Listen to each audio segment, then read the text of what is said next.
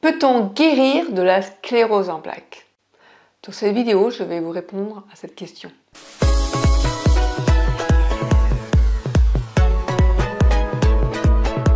Guérir d'une maladie chronique, tous les malades l'espèrent, le souhaitent.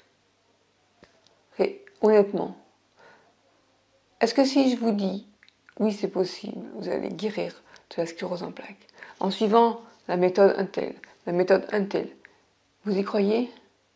On a envie d'y croire. Mais à ce jour, la sclérose en plaques ne se guérit pas.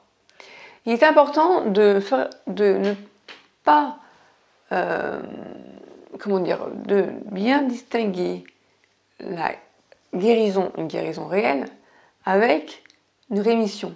Parce que dans cette maladie, il y a, lorsqu'on est en phase rémitante, des phases où on récupère vous avez une poussée de sclérose en plaques, donc apparition, la réapparition de troubles neurologiques, par exemple problème pour marcher, problème urinaire, problème visuel. Et après la poussée, vous avez complètement récupéré. Et là, vous êtes en phase de rémission et vous vous dites peut-être, ça y est, je suis guéri. Sauf que c'est pas vrai. On n'est pas guéri de la sclérose en plaques. C'est juste qu'on est dans une phase où ça va bien. Alors profitez-en. C'est vraiment important de ne pas se donner de faux espoirs.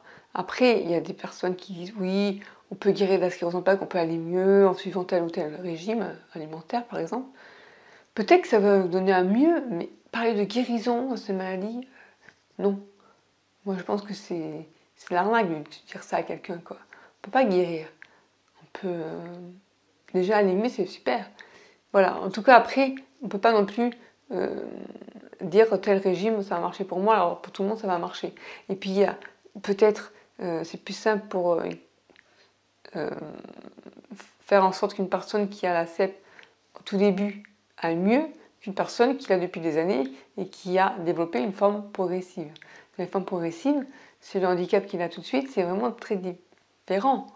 Euh, quand c'est pour euh, la myline qui se reconstitue après une poussée, ou bien bah, l'axone qui a été détruit, et malheureusement le handicap est là et on ne va pas reconstruire l'axone et reconstruire la myline. Vous voyez? Tout bon. Moi, vous faire de faux espoirs, je pense qu'on ne guérit pas de la sclérose en plaques et qu'il faut se méfier des personnes qui vous disent le contraire.